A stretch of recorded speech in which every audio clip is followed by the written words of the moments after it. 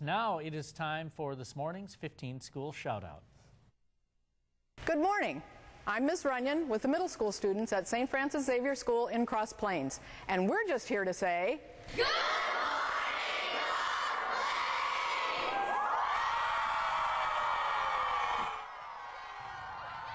All right, good morning to them. Some in their school gear, some in Packer pants. That's some good stuff, man. Uh-huh. I'm liking that.